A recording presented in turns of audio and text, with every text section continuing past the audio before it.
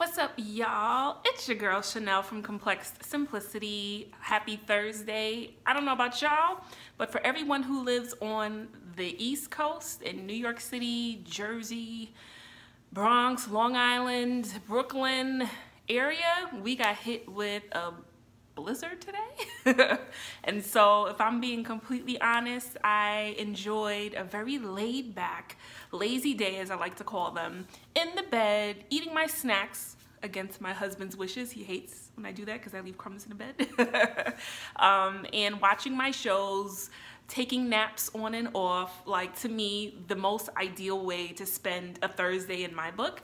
And I was like, but we got to make sure we do some vlogging. It's been a few days. The last time I was on here gracing you with my uh, presence, it was New Year's Eve. Um, and so a couple days into 2018, what are we? Today's the fourth day in. Um, you know, I had to come back on and see how y'all are doing out here. I hope that things are going well so far for the new year for you.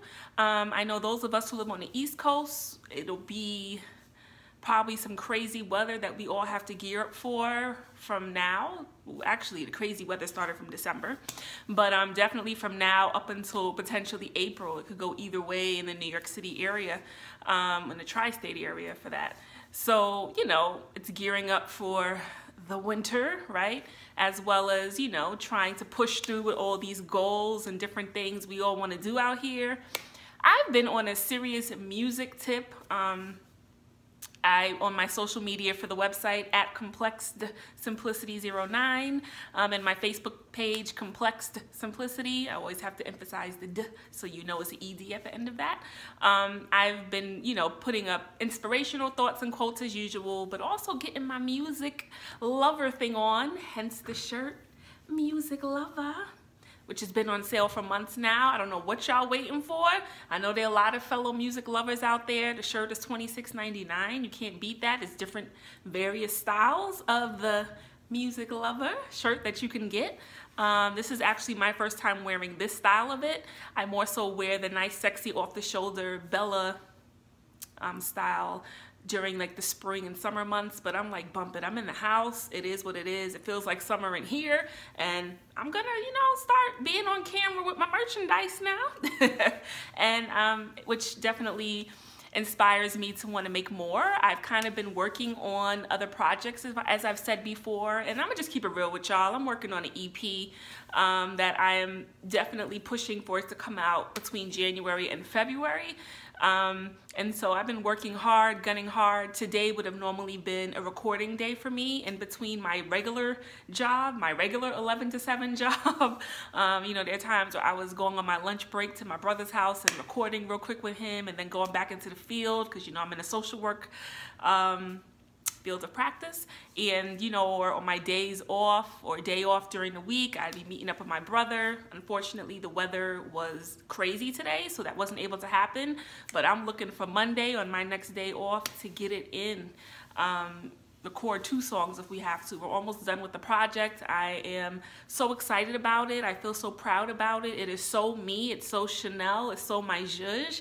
Um, and I'm hoping that it's different. I'm hoping that you think it's dope. So continue to, you know, head to complexedsimplicity.com to get updates on when it's going to drop, the release date, um, as well as my social media at complexedsimplicity09 for Instagram and complexedsimplicity for Facebook. Check in because you just never know when that joint may drop. so I let the cat out the bag, you know, maybe before the end of this vlog. Um, or maybe on my social media, I'll give a little tickler. You know, I can't give you the full throttle as I'm still working to copyright things um, and get everything in order and together in a professional way that it needs to be. But I know it's getting to the point now where I gotta start, I gotta start teasing you. I gotta start getting you to feel me on this one and, and, and want and be like, yo, when is this gonna drop? I wanna hear this EP, right? Um, and of course it embodies all things complex simplicity, all the topics and subject matters that I'm always talking about. What supports my movement is what a lot of the subject matter in the music is. It's very relatable, encouraging, empowering, hopefully. Um, and I, I, I'm hoping that you think it's dope. I know I do. But anyway, enough about that. I'm really on to do my review of Tiffany Haddish's book, The Last Black Unicorn. I finished it last week, but between the holidays and just a lot of stuff going on, I wasn't able to come on and do the review just yet. I'm like, before I review this book, I need to do my Happy New Year spiel. And so now that Christmas, New Year's, all that is out the way, without further ado, I bring to you my review. You see, you can tell I've been writing music and everything rhymes lately with me um, of Tiffany Haddish's book. And I have to say this, y'all. Out of 10 stars, I have to come up with my own thing, um, not stars. Um, but we'll figure it out. But anyway, for now, out of 10 stars, I definitely give her book like a 9.5 if I'm being honest with y'all. Tiffany Haddish's story is so real. It's so like raw. It's so like, damn girl, that's what life was for you. But then it's inspiring in the same vein when you see all the steps that she's made to get to where she is and where she's trying to go. It's like, you know, um, interesting as far as how her personality could be what it is. I know she, along a lot of other comics, they often say they're like tortured souls. They have a lot of issues. And like Kevin Hart kind of said, they, they kind of tend to laugh through their pain. That's their coping mechanism for the difficulties and challenges that they face in their lives. Um, a lot of them have gone through some serious stuff, whether it's abuse, neglect and abuse, dysfunction, uh, someone in the family using drugs, alcoholism. It's always like hardcore issues a lot of comedians have gone through, which is why they have this ability to like be so funny and humorous and to to captivate their audiences, right? And so Tiffany Haddish definitely had me captivated from the first onset of her speaking because I listen to audiobooks. I don't um, really read the books anymore. I find it more interesting to listen to the audiobook and I listen to the books as I'm driving. And that's why sometimes it could take me a week or two weeks to get through an audio book because I only listen to it when I'm commuting, I'm in my car going from point A to wherever, right? And so the biggest misconception out there about audiobooks is that it's a regular generic voice reading the book. No, no, no, no, no. For a lot of these books that the celebrities are doing, um, or people in the public eye are doing, they are narrating and telling their own story. It is their voice. So you can imagine the level of laughter, gut wrenching laughter I would experience while driving, listening to Tiffany Haddish's book because it's her words, her voice, her inflections, her flair. It's all things Tiffany Haddish, right? And so she discusses everything from, well, the beauty of it is, I let me back it up. I'll say that I, when I heard about this book and I started seeing advertisements for it everywhere, I was always like, what does she mean about the last black unicorn? Like, what is this title about? This is very interesting. It's bizarre. Like, what does this mean? What I love that she did is, as soon as you first start reading or listening to the book, she addresses why she entitled the book The Last Black Unicorn. Now, if you haven't read or listened to this book, I'm going to give you a spoiler alert right now. You may want to no longer watch this video clip because I'm going to kind of get into a lot of what she talks about in the book and I don't want to spoil it for anyone who wants to listen or read the book and hasn't had the opportunity yet. So please now is the time to exit on out. Let me say it, say exit, oh, on out. Hey, hey. All right, so by now, hopefully you were able to do that if that's what you felt moved to do. Um, so she, she starts the book off with pretty much explaining why she refers to herself as the last black unicorn. Um, apparently she had what she thought was like a mole. You know how some people's moles can grow very big? Um, so she had it like, I guess in the middle of her forehead and she would get made fun of by her classmates. I think this happened probably during um, elementary, junior high school, um, that era of her life. And so she would often get made fun of by her peers, her classmates, and she would literally try to cut the bad boy off while in class. Um, she said blood would be streaming down her face and she would then garner and get the sympathy of her friends, her classmates, the people making fun of her. And um, she started to learn early on in her life that, you know, she has a knack for being able to get people's sympathy and how that can actually help her, right? And so um, the teacher, of course, would have to send her to the nurse's station. It got to the point, she was living with her grandmother at this time. It got to the point where she, um, her grandmother took her into the doctor because the grandmother is like, that is not a mole. That is like a wart, like a herpes on your head kind of thing. Mind you, she's a little kid, not even having sex yet, nothing of those sorts, right? And so, you know, her grandmother takes her to the doctor and then they find out that in fact, it was a wart and they were able, not a herpes kind of wart, but just, you know, a wart.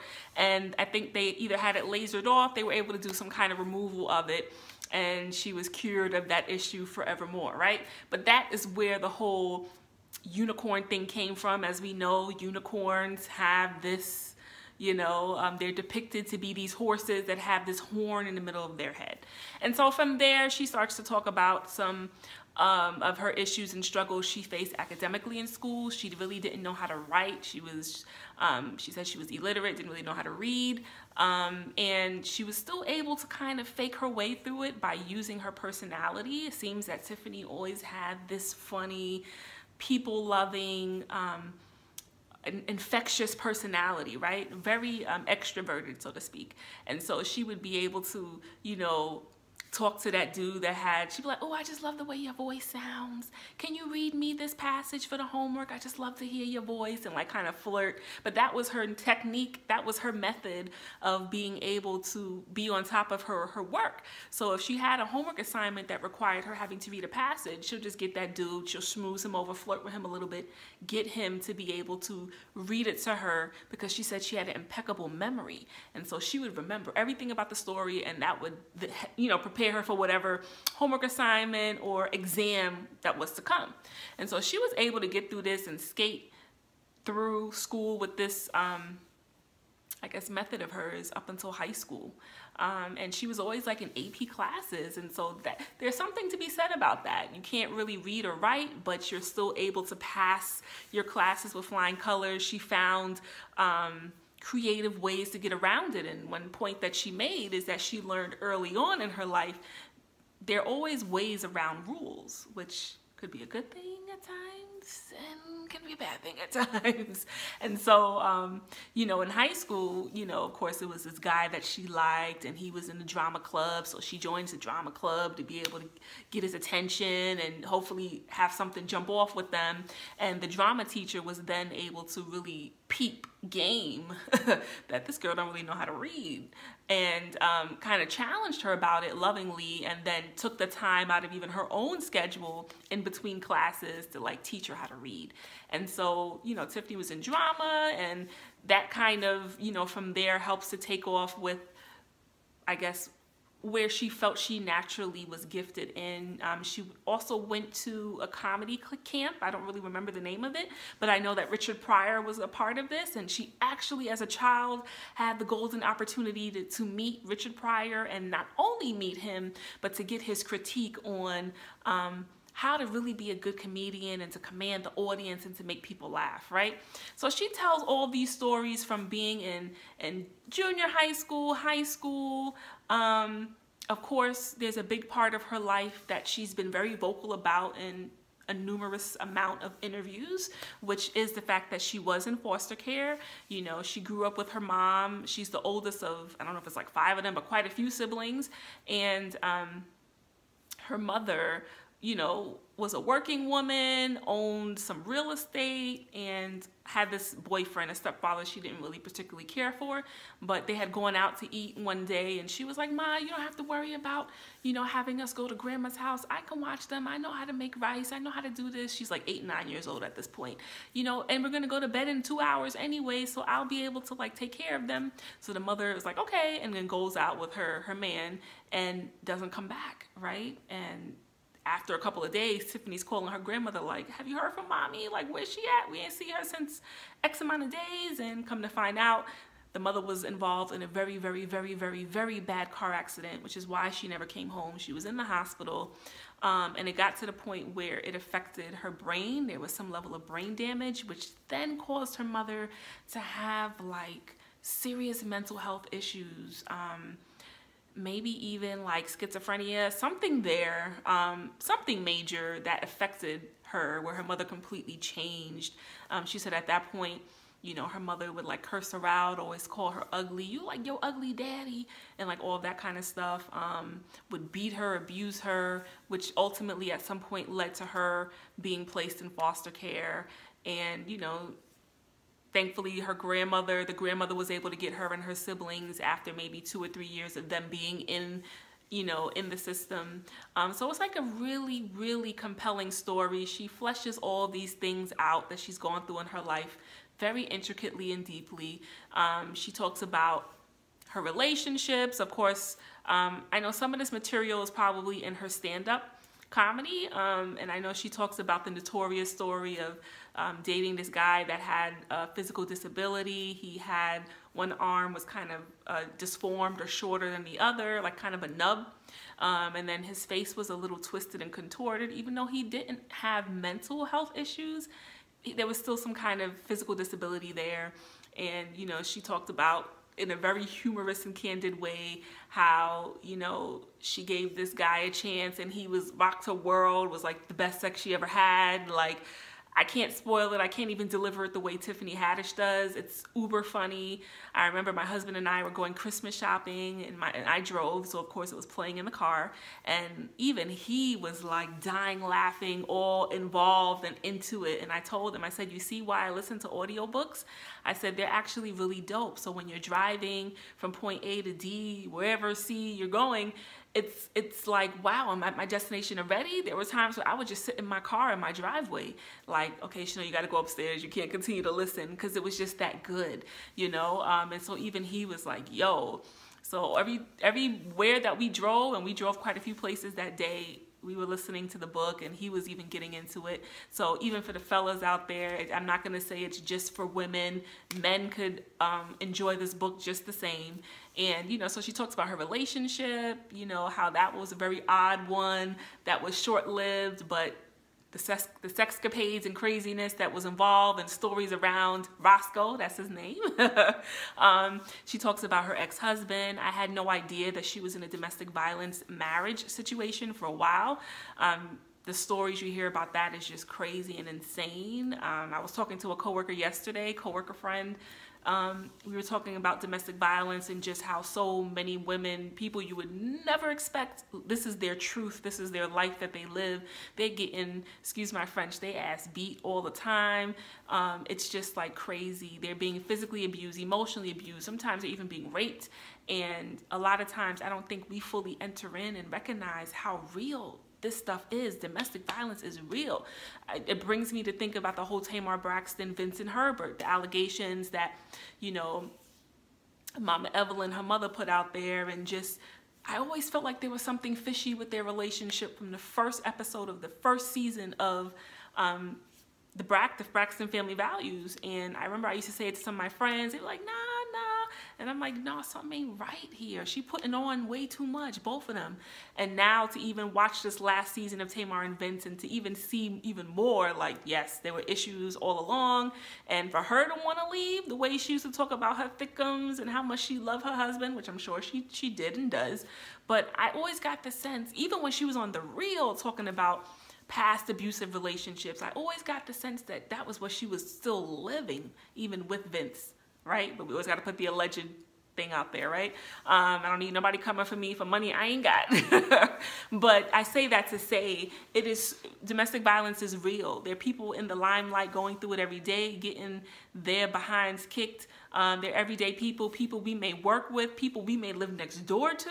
Like that's how real it is. People we go into church with who are going through domestic violence situations, men and women alike. And there's got to be more awareness and more of a platform really addressing this. And I was glad and appreciative that Tiffany Haddish discussed this in her book because that's real. You know what I'm saying? She she married him, divorced him because of the abuse, married him again, was still being abused, divorced him again. And I'm hearing that he's still trying to come after her, I think now more so legally, because probably because he was in the book, even though she um, refers to him as ex-husband. She doesn't put his identity out there, but he's trying to get a coin off of her hard work. It, it's just crazy, right? Um, and so this book is so good. It talks about, like I said, her time in foster care, the abuse um, she went through with her mom physically and emotionally, Um, how her grandmother was always there for her but would still give her tough love when needed. The many jobs that she worked in entertainment like working bar mitzvahs you know um, just it just always seemed like she was even if she didn't realize it at the time she was on track with what she was supposed to be doing with her life.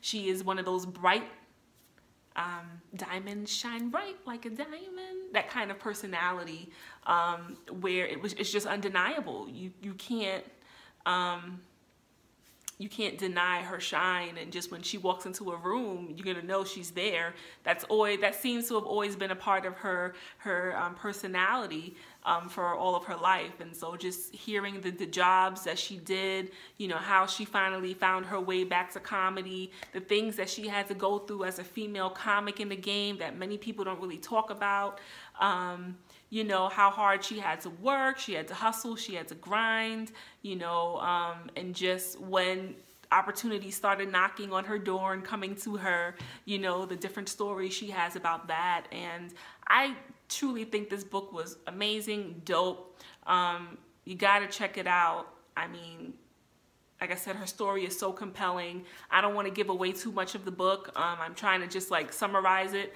without giving you details, but it was amazing. Um, and I definitely give it 9.5 um, uh, stars for now because I don't have a, another uh, thing to say or use.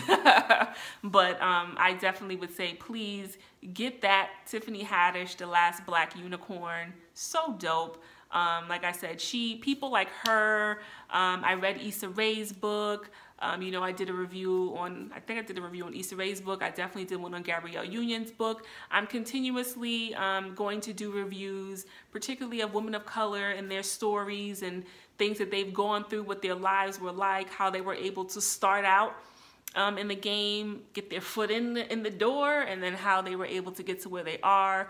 Um, you know, that those stories always inspire me. They motivate me. They fuel me to just continue to go harder, go bigger um, with this whole complex simplicity movement of mine. Um, it really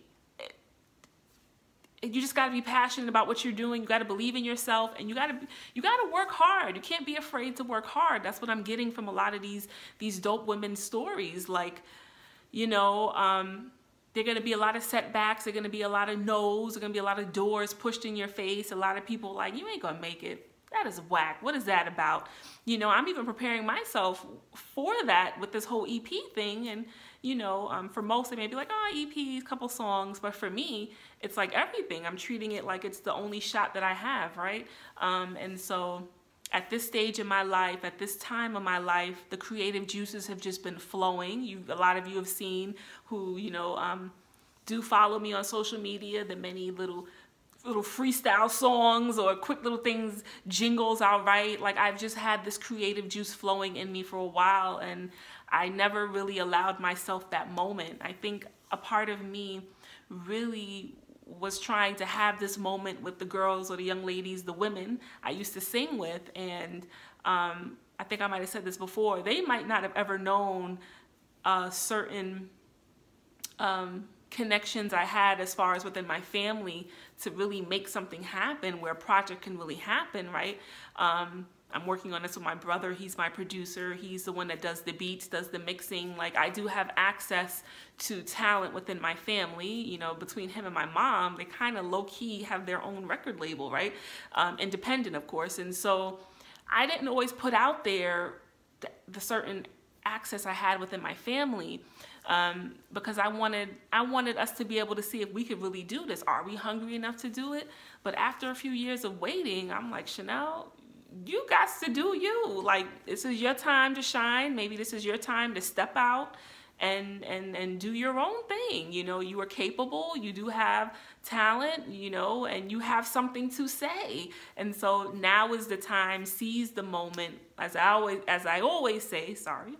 Go balls to the wall and just do the damn thing. Like you know. And I know that I'm going to get a lot of scrutiny and criticism and and critique and feedback and you know i'm preparing myself for all of that but at the same time i'm like no this is your time. This is this is what it is. And and, and work hard for this to be what it is. So prayerfully hopefully all goes well where i am able to drop this ep between the months of january which we're in in february. I'm almost done recording um, the songs and um, you know hopefully all goes well once I, i'm able to release it through all major um, streaming networks, right? So, um, you know, sometimes you can get some technical setbacks and glitches with certain things. I'm hoping everything is cleared, we're good. Um, and I just wanted to finally be able to kind of put that out there so that you can start to anticipate what is to come. Um, and I'm working on another project that I'm not going to discuss just yet. Um, right now, we're going to focus on the music, um, and I'm comfortable with talking about that. Um, but like I said, I'm trying to trying to hit them hard, trying to hit y'all hard this uh this year, right? Um, and um, so me listening to these books from these amazing women, it helps me, you know, as far as just inspiring. It, it, continues to help to motivate me to keep going and to just be relentless, as I always say, to have that laser vision focus and and work ethic is everything. I know a lot of talented people in the world. My brother and I were just talking about this last week when we were recording. I know a lot of talented people in the world who they don't really get that far and maybe it's because of their work ethic or maybe it's because of their lack of confidence or maybe it's a combination of the two you know? Um, i do believe that i am a very talented person but i'll be 100% honest. I know i'm not the dopest singer out there. I don't have the most i'm not the most talented singer out there but with what god has given me and with this work ethic that i have I know that I can I can achieve greatness and go far, you know. Um, so it's not just the talent. You also have to have the work ethic that either matches it or even goes beyond it because that's the drive. That's what's gonna have you out here trying to go get it. You know what I'm saying? And and the confidence within yourself as well. You know. Um, and as long as I can sleep at night with the art that I'm creating, I'm good. I already know they're gonna be those that are like, that ish is whack. And then they're gonna be others that are like, yo, I didn't even expect her to go like that. Like that ish was, was dope, right? And then you're gonna have those who are in between, like I could take it or leave it. But at the end of the day, it's about me having to be comfortable enough. If I could sleep at night and I felt like what I needed to say, I was able to say it.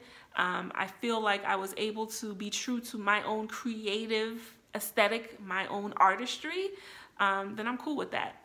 On my Instagram, once again, at Complexed Simplicity 09 for the website, I recently posted a clip of Solange um, singing Cranes in the Sky. And I said, you know, she has always inspired me. I've been, I have Solange's very first album, y'all, where um, she's talking about there's this guy that I'm feeling. And it had, I think, um, what, Nori, I had Noreaga in the video. And, you know, so I was following her from day one when she used to wear the most bizarrest fashion where everybody was like, what the hell has she got on?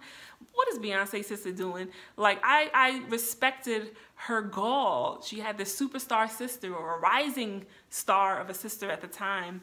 And she still did her and she did her own thing. If the Destiny's Child and Beyonce were here, Solange was left doing her own thing. And I always dig that about her. And I feel like all of her um, phases of quirkiness and, and different dressing um, and music that we might not have always gotten sonically led her to the moment of because there was a year where she was killing it with the fashion game where everybody was talking about Solange. She had everybody out here wanting to wear the throwback Janet Jackson box braids. Like she had influence as far as her fashion game.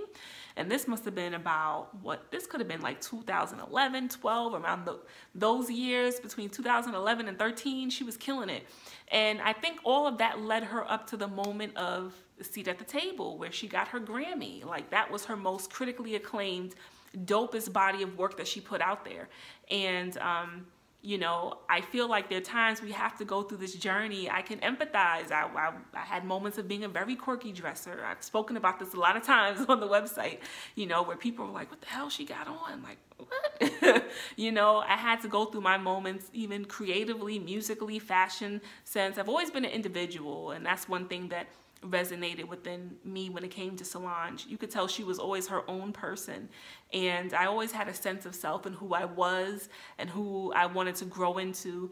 And um, I just respect her and I respect her art, you know, and she doesn't have the biggest voice. You know, a lot of times we tend to think it's the big voices that make it out here and you have to, you know, be like the Jennifer Hudsons and the Fantasias and these people you don't. You know what I'm saying? I respect the Jhené Aikos. I feel like she has a beautiful voice. I probably would be more apt to buy her album than J Hud. No shade to J Hud, but I'm just saying, as far as a music lover, you know, um, I'm drawn to different forms and types of music. It's not just about you know, who can sing, sang you into the ground. It takes more than that to be an artist. It takes more than that to deliver dope music. It takes more than that to come up with a crazy album and song, EP, whatever. And, you know, Solange is talented. And the whole world stopped and listened to a seat at the table. And i felt like everything in her journey led her up to that moment. And um, you know she continues to inspire me as well. You know sometimes maybe i go with the underdogs when it comes to certain things especially in music because i've shared this before. I was a part of a, a singing group with, with with my friends at the time. And you know, we all were very talented, and I've said this before. Some got more shine than others, or might have done well on the spot vocally or had more leads or whatever, but I always knew I was a creative and I always knew that I had the ability to arrange, I had the ability to sing, I had the ability to kind of see the bigger picture and the vision. Um, and that's kind of what I added to the group. Um, but at some point, it gets to uh, a period in your life where it's your time and maybe I'm creating my own time or maybe it just really is my time. I, I kind of feel like it really is my time in the sense of being able to deliver my art to the world. Not my time to be the star, not my time, you know, where you're going to see me on TV all over the place like Cardi B who's killing the game. Kudos to her and Bruno Mars for that remix of Finesse. Um, but I feel like it's my time as far as it's I think it, it's it's now is the time for me to put my art out there. And as my brother says, once it's out there, it's out there. It's almost history in a sense because it'll forever be there, right? And um, so I'm so excited, nervous, um, happy ultimately, um, anxious, ready to like put the EP out there, but I'm still making sure you know, it, I can sleep at night. It, it, meets my requirements. My brother says I can be a bit of a perfectionist, but I was I just want to make sure that it meets um, what my vision was initially, and I'm satisfied with it. That's pretty much really all I care about. I want to be able to help you out there, help the people, encourage, empower us, um, have a different kind of message than what we're used to hearing in songs, um, but still have it be musically dope and like you know, just do me and be me and, and, and be unique in that, right? We all have something different and unique to offer the world. And so I will continue to keep you updated with that. I didn't mean to hijack this book review regarding my stuff, but I felt like, you know, if we're talking about inspiration and we're talking about how Tiffany Haddish has made it and is doing the damn thing, then I, I had to share how this also furthers to fuel and inspire me to go out here and get it and do the damn thing um, with my own voice in my own way, um, my own zhuzh, right? And so thank you so much. Um, I will appreciate the support in this EP venture. I appreciate the support. Go get y'all this music lover top, y'all. I'm telling y'all. Um, and continue to rock out with your girl by going to complexedsimplicity.com. And until next time.